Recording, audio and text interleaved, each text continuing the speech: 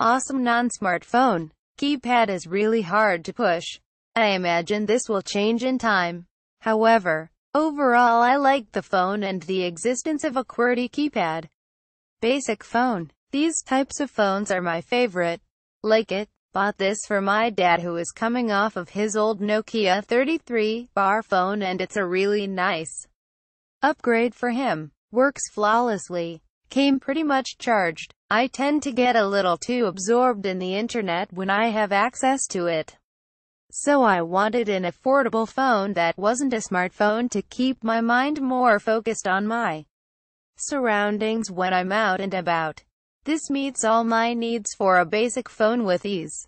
It works great for calls. The keyboard makes texting a pleasant experience. The contacts work just fine. And there are other features like alarms and calendar if you need them.